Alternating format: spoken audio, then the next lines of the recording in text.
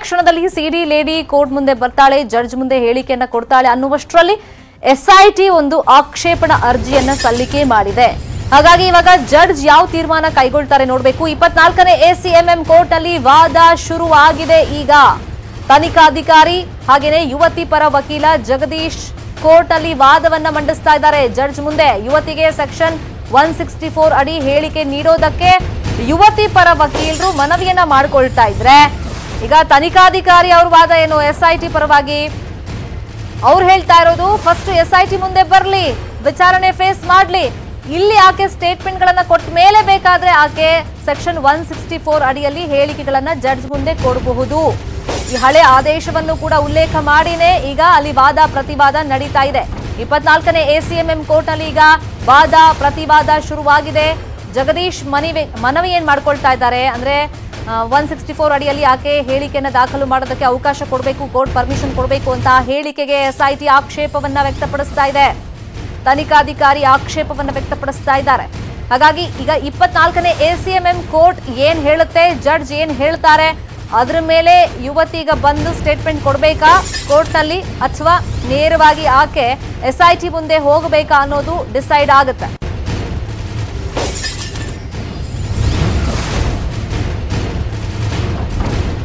ಈಗ ಯಾವ ತರ ವಾದ ಪ್ರತಿವಾದಗಳಲ್ಲಿ ನಡೀತಾ ಇದೆ ಅಂದ್ರೆ ಯುವತಿಗೆ ಜೀವ ಬೆದರಿಕೆ ಇದೆ. ಆಕೆ ಎಲ್ಲಾ ವಿಡಿಯೋದಲ್ಲೂ ಅದನ್ನು ಪ್ರಸ್ತಾಪ ಮಾಡಿದಾಳೆ. ಪೋಷಕರಿಗೂ ಒತ್ತಡ ಹಾಕಲಾಗ್ತಾ ಇದೆ ಅಂತ ಪೋಷಕರು ಸ್ಟೇಟ್ಮೆಂಟ್ ಕೊಟ್ಟ ಮೇಲೆ ಆಕೆ ಅದನ್ನ ಪ್ರಸ್ತಾಪ ಮಾಡಿದ್ಲು ವಿಡಿಯೋಗಳಲ್ಲಿ. ಸೊ ಈ ವಿಚಾರಗಳನ್ನ ಈಗ ಯುವತಿ ಪರ ವಕೀಲರು ಕೋರ್ಟ್ನಲ್ಲಿ ಜಡ್ಜ್ ಮುಂದೆ ಹೇಳ್ತಾ ಇದ್ದಾರೆ.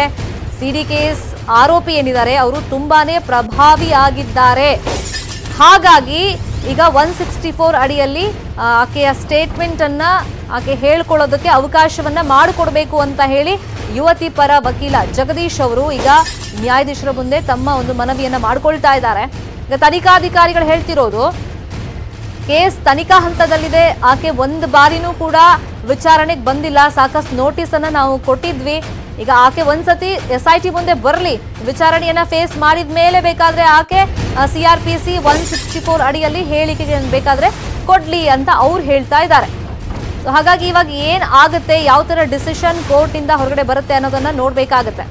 ಇನ್ನೊಂದ್ ಕಡೆ ಯುವತಿ ಪರ ವಕೀಲ ಜಗದೀಶ್ ಅವ್ರು ಹೇಳ್ದಂಗೆ, ಯಾವಾಗ ಬೇಕಾದ್ರೂ ಕೋರ್ಟ್ ಹೇಳಿದ್ರು ನಾವಂತೂ ಆಕೆನ ಪ್ರೊಡ್ಯೂಸ್ ಮಾಡೋದಕ್ಕೆ. ಅಂದ್ರೆ ಆಕೆ ಬರ್ತಾಳೆ, ತನ್ನ ಹೇಳಿಕೆ ಏನಿದೆ, ಅದನ್ನ ದಾಖಲು ಮಾಡ್ತಾಳೆ ಅಂದ್ರೆ ಒನ್ ಸಿಕ್ಸ್ಟಿ ಫೋರ್ ಅಡಿಯಲ್ಲಿ ಆಕೆ ತನ್ನ ಸ್ಟೇಟ್ಮೆಂಟ್ ಕೊಡೋದಕ್ಕೆ ರೆಡಿ ಇದ್ದಾಳೆ. ನಾವು ಜಸ್ಟ್ ಕೋರ್ಟ್ ಒಂದು ಪರ್ಮಿಷನ್ ಕೊಡೋದನ್ನ ವೇಟ್ ಮಾಡ್ತಾ ಇದ್ದೀವಿ ಅಂತ ಬೆಳಿಗ್ಗೆಯಿಂದ ಹೇಳ್ತಾ ಇದ್ವಿ ಸೊ ಈಗ ಒಂದು ಟ್ವಿಸ್ಟ್ ಸಿಕ್ಕಿದೆ. ಸೊ ಅದು ಎಸ್ ಐ ಟಿ ಕೊಟ್ಟಿರುವಂತ twist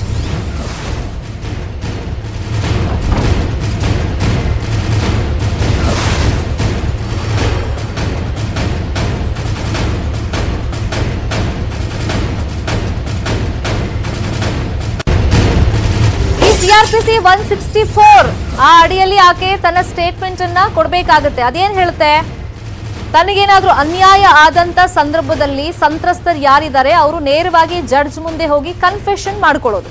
ನನ್ಗೆ ಇಂಥವ್ರಿಂದ ಅನ್ಯಾಯ ಆಗಿದೆ. ಹಿಂಗಿಂಗ್ ಆಗಿದೆ ಈ ಕೇಸಲ್ಲಿ. ನನಗೆ ನ್ಯಾಯ ಸಿಗಬೇಕು. ಹಾಗಾಗಿ ಅವ್ರ ಮನವಿ ಏನಿದೆ? ಅಂದ್ರೆ ಯಾರ ಮುಖಾಂತರ ತನಿಖೆ ಆಗ್ಬೇಕು ಅಂತ ಸ್ವತಂತ್ರ ಇದೆ ಅವರಿಗೆ ಹೇಳ್ಕೊಳ್ಳೋದಕ್ಕೆ. ಇಂಥವ್ರಿಂದ ತನಿಖೆ ಆಗ್ಲಿ ಮಾಡ್ಸಿ ಅಂತ ಹೇಳ್ಕೊಳ್ಳುವಂತ ಒಂದು ಸ್ವತಂತ್ರ ಇದೆ, ಆ ಮನವಿಯನ್ನ ಮಾಡ್ಕೊಳ್ಬಹುದು ಆದ್ರೆ ಈಗ ಎಲ್ಲವನ್ನೂ ಕೂಡ ಜಡ್ಜ್ ಡಿಸೈಡ್ ಮಾಡ್ತಾರೆ. ಸೊ ಅನುಮತಿ ಯಾಕೆ ಸಿಕ್ಕಿತ್ತು, ಯಾವಾಗ, ಎಲ್ಲಿ ಅಂತ ಇವತ್ತು ಡಿಸೈಡ್ ಆಗ್ಬೇಕಾಗಿತ್ತು. ಆ ಟೈಮ್ನಲ್ಲಿ ಎಸ್ ಐ ಟಿ ಈಗ ಆಕ್ಷೇಪಣೆ ಅರ್ಜಿಯನ್ನ ಸಲ್ಲಿಕೆ ಮಾಡಿದೆ. ಸೊ ಹಿಂಗಾಗಲ್ಲ. ಈಗ ತನಿಖೆ ನಡೀತಾ ಇದೆ. ಎಸ್ ಐ ಟಿ ಮುಂದೆ ಆಕೆ ಬರಬೇಕಾಗತ್ತೆ. ಒಂದ್ಸತಿ ವಿಚಾರಣೆ ಫೇಸ್ ಮಾಡಲಿ. ಅದಾದ್ಮೇಲೆ ಬೇಕಾದ್ರೆ ಆಕೆ C R P C one sixty four ಅಡಿಯಲ್ಲಿ ಹೇಳಿಕೆಯನ್ನು ದಾಖಲು ಮಾಡ್ಕೊಳ್ಳಿ. ನಮ್ದೇನು ಆಕ್ಷೇಪ ಆಮೇಲೆ ಇಲ್ಲ ಆದ್ರೆ ಫಸ್ಟ್ ಆಕೆ ಎಸ್ ಐ ಟಿ ಮುಂದೆ ಬರಲಿ ಅನ್ನೋ ಆಗ್ರಹವನ್ನ ಈಗ ತನಿಖಾಧಿಕಾರಿ ಮಾಡ್ತಾ ಇದ್ದಾರೆ. ಹಾಗಾಗಿ ಇವಾಗ ಜಡ್ಜ್ ಏನ್ ಹೇಳ್ತಾರೆ ಅನ್ನೋದು ಇಂಪಾರ್ಟೆಂಟ್ ಆಗುತ್ತೆ. ಬಟ್ ಇಲ್ಲಿ ವಾದ ಪ್ರತಿವಾದದಲ್ಲಿ ಏನೆಲ್ಲ ಅಂಶಗಳು ಬರ್ತಾ ಇದೆ ಅಂದ್ರೆ ಯುವತಿ ಪರ ವಕೀಲರು ಹೇಳ್ತಿರೋದು ಈ ಆರೋಪಿ ಏನಿದ್ದಾರೆ ಸಿಡಿ ಕೇಸ್ನಲ್ಲಿ ಅವ್ರು ತುಂಬಾನೇ ಪ್ರಭಾವಿ ಇದ್ದಾರೆ. ಮತ್ತೆ ಯುವತಿಗೆ ಜೀವ ಬೆದರಿಕೆ ಇದೆ. ಅವ್ರ ಕುಟುಂಬದವ್ರಿಗೂ ಕೂಡ ಸಾಕಷ್ಟು ಒತ್ತಡವನ್ನ ಹಾಕಿಸಿ ಏನೇನೋ ಸ್ಟೇಟ್ಮೆಂಟ್ಸ್ ಗಳನ್ನ ಕೊಡ್ತಾ ಇದ್ದಾರೆ. ಹಾಗಾಗಿ ಯುವತಿಗೆ ಜಡ್ಜ್ ಮುಂದೆ ಬಂದೇನೆ ಒನ್ ಸಿಕ್ಸ್ಟಿ ಫೋರ್ ಅಡಿಯಲ್ಲಿ ಹೇಳಿಕೆ ದಾಖಲು ಮಾಡೋದಕ್ಕೆ ಅವಕಾಶ ಕೊಡಬೇಕು ಅಂತ ಮನವಿಯನ್ನ ಮಾಡಿಕೊಳ್ತಾ ಇದ್ದಾರೆ. ಇಪ್ಪತ್ನಾಲ್ಕನೇ ಎಸಿಎಂಎಂ ಕೋರ್ಟ್ ಅಲ್ಲಿ ವಾದ, ಪ್ರತಿವಾದ ಶುರುವಾಗಿದೆ. ಈಗ ಕೋರ್ಟ್ ಯಾವ ನಿರ್ಧಾರಕ್ಕೆ ಬರುತ್ತೆ ಅನ್ನೋದನ್ನ ನೋಡ್ಬೇಕಾಗತ್ತೆ.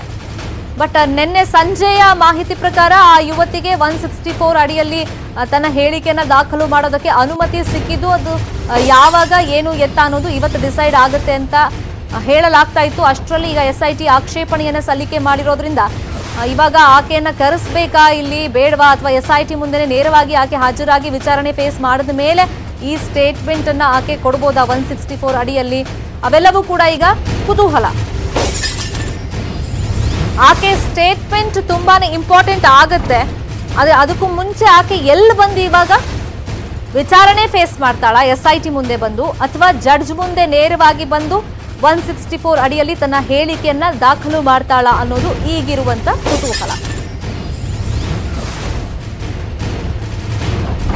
ಬಟ್ ಇಲ್ಲಿ ಎಸ್ ಐ ಟಿ ಅವ್ರು ಹೇಳ್ತಿರೋದು ಈ ಹಿಂದೆನೂ ಕೂಡ ಒಂದು ಪ್ರಕರಣದಲ್ಲಿ ಈ ತರ ಒನ್ ಸಿಕ್ಸ್ಟಿ ಫೋರ್ ಅಡಿಯಲ್ಲಿ ದಾಖಲು ಮಾಡಬೇಕಾಗಿತ್ತು ಹೇಳಿಕೆ, ಆದರೆ ಕೋರ್ಟ್ ಅದಕ್ಕೆ ಪರ್ಮಿಷನ್ ಕೊಟ್ಟಿರಲಿಲ್ಲ ಅಂತ ಹೇಳ್ಬಿಟ್ಟು ಹಿಂದಿನ ಬೇರೆ ಕೇಸ್ನ ಒಂದು ಆದೇಶದ ಪ್ರತಿಯನ್ನು ಕೂಡ ಅಟ್ಯಾಚ್ ಮಾಡಿದ್ದಾರೆ ಅದಕ್ಕೆ.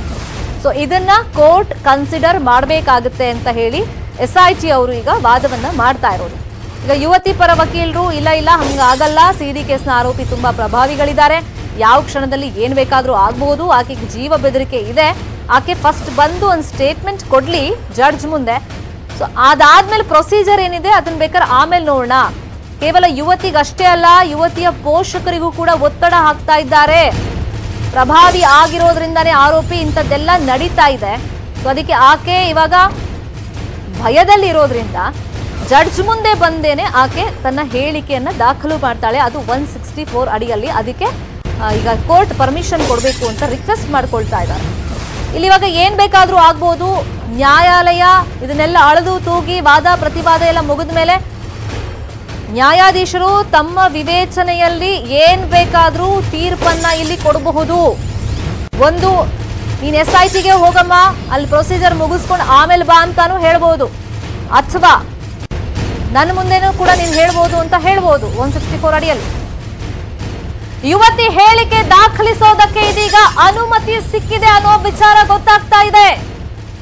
ಸೊ ಈಗ ಯುವತಿ ಕೋರ್ಟ್ಗೆ ಆಗಮಿಸಬಹುದು. ಹಾಗಾದ್ರೆ ಇನ್ನೇನು ಕೆಲವೇ ನಿಮಿಷಗಳಲ್ಲಿ ಅನುಮತಿಯನ್ನ ಇಪ್ಪತ್ನಾಲ್ಕನೇ ಎಸಿಎಂಎಂ ಕೋರ್ಟ್ ಮಂಜೂರು ಮಾಡಿದೆ. ಸೊ ಯುವತಿ ಹೇಳಿಕೆಯನ್ನ ಇದೀಗ ಸಿಆರ್ಪಿಸಿ ಒನ್ ಸಿಕ್ಸ್ಟಿ ಫೋರ್ ಅಡಿಯಲ್ಲಿ ದಾಖಲು ಮಾಡಬಹುದು ಅಂತ ಕೋರ್ಟ್ ಹೇಳಿದೆ. ಅಲ್ಲಿಗೆ ಎಸ್ಐಟಿ ಏನ್ ಆಕ್ಷೇಪಣೆ ಸಲ್ಲಿಕೆ ಮಾಡಿತ್ತು. ಅದಕ್ಕೆ ಮನ್ನಣೆ ಸಿಕ್ಕಿಲ್ಲ. ಯುವತಿ ಪರ ವಕೀಲರು ಜಗದೀಶ್ ಏನ್ ವಾದವನ್ನ ಮಂಡನೆ ಮಾಡಿದ್ರು? ಸೊ ಅದಕ್ಕೆ ಮನ್ನಣೆ ಸಿಕ್ಕಿದೆ. ಜಡ್ಜ್ ಹೇಳಿರೋದು, ಆಕೆಯನ್ನ ಕರ್ಕೊಂಡು ಬನ್ನಿ. ಆಕೆ ಏನ್ ಸ್ಟೇಟ್ಮೆಂಟ್ ಕೊಡ್ತಾಳೆ? ಸೆಕ್ಷನ್ ಒನ್ ಸಿಕ್ಸ್ಟಿ ಫೋರ್ ಅಡಿಯಲ್ಲಿ ಅದನ್ನ ದಾಖಲು ಮಾಡಿಕೊಳ್ಳೋಣ ಅಂತ ಹೇಳಿದ್ದಾರೆ.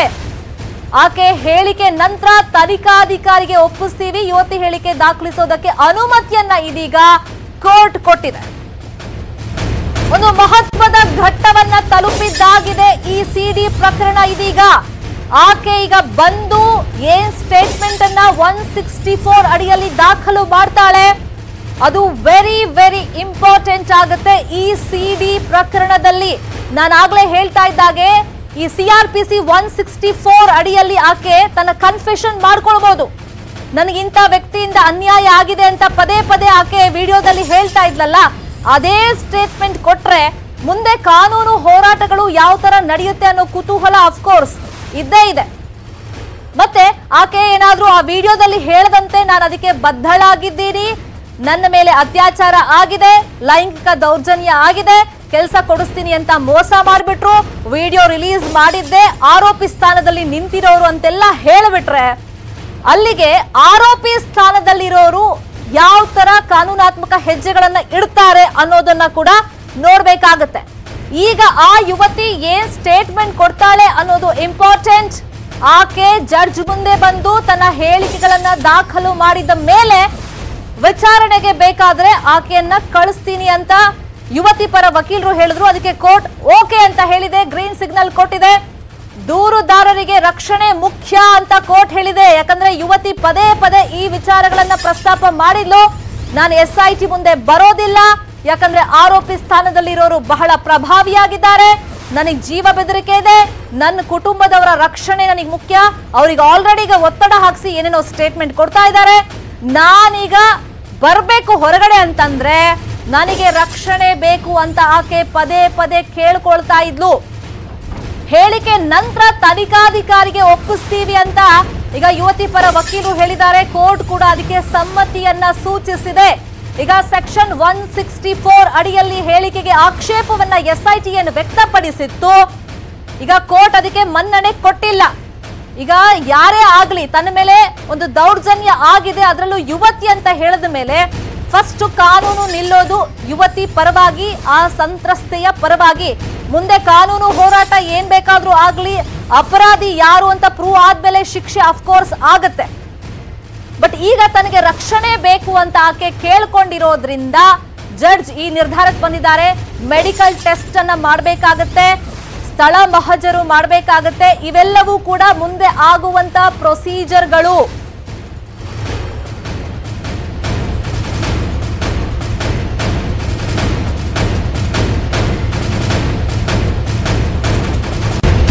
ಈಗ ಎಸ್ ಐ ಅವರಿಗೆ ಕೋರ್ಟ್ ಏನ್ ಹೇಳಿದೆ ಅಂದ್ರೆ ಈಗ ಮೆಡಿಕಲ್ ಟೆಸ್ಟ್ ಮಾಡಬೇಕು ಫರ್ದರ್ ಪ್ರೊಸೀಜರ್ ಏನೇನಿದೆ, ಅವೆಲ್ಲವನ್ನೂ ಕೂಡ ನೀವು ಆಮೇಲೆ ಮಾಡಿ. ಫಸ್ಟ್ ಆ ಯುವತಿ ಬರಲಿ ಕೋರ್ಟ್ ಅಲ್ಲಿ ತನ್ನ ಹೇಳಿಕೆಯನ್ನ ದಾಖಲು ಮಾಡ್ಲಿ. ಅದಾದ ಮೇಲೆ ನಿಮ್ಮ ವಿಚಾರಣೆ ಏನಿದೆ ತನಿಖಾ ದೃಷ್ಟಿಯಿಂದ ಅದನ್ನ ನೀವು ಮಾಡ್ಕೊಳ್ಳಿ ಅಂತ ಕೋರ್ಟ್ ಹೇಳಿದೆ. ಹಾಗಾಗಿ ಈಗ ಪರ್ಮಿಷನ್ ಸಿಕ್ಕಿರೋದ್ರಿಂದ ಯಾವಾಗ ಆಕೆ ಬರ್ತಾಳೆ ಕೋರ್ಟ್ ಮುಂದೆ ಜಡ್ಜ್ ಮುಂದೆ, ಯಾವ ತರ ಹೇಳಿಕೆಗಳನ್ನ ದಾಖಲು ಮಾಡ್ತಾಳೆ ಅನ್ನೋದನ್ನ ನೋಡ್ಬೇಕಾಗತ್ತೆ. ಈಗ ಯುವತಿಗೆ ಫಸ್ಟ್ ಆಫ್ ಆಲ್ ಪರ್ಮಿಷನ್ ಸಿಗುತ್ತಾ ಇಲ್ವಾ ಎಸ್ ಐ ಟಿ ಆಕ್ಷೇಪಣೆ ಸಲ್ಲಿಕೆ ಮಾಡಿದ್ರಿಂದ ಅಂತ ಒಂದು ಕುತೂಹಲ ಇತ್ತು ಅದಕ್ಕೊಂದು ಫುಲ್ ಸ್ಟಾಪ್ ಬಿದ್ದಿದೆ ಈಗ ಯುವತಿ ಬರಬಹುದು ತನ್ನ ಸ್ಟೇಟ್ಮೆಂಟ್ ಅನ್ನ ದಾಖಲು ಮಾಡಬಹುದು ಅಂತ ಕೋರ್ಟ್ ಹೇಳಿರೋದ್ರಿಂದ ಆಕೆ ಈಗ ಬರಬೇಕಾಗತ್ತೆ ತನ್ನ ಸ್ಟೇಟ್ಮೆಂಟ್ ಕೊಟ್ಟ ಮೇಲೆ ಎಸ್ ಐ ಟಿಯ ತನಿಖಾಧಿಕಾರಿಗೆ ವಿಚಾರಣೆ ಹಂತದಲ್ಲಿ ಆಕೆ ಸಹಕಾರವನ್ನ ಕೊಡಬೇಕಾಗತ್ತೆ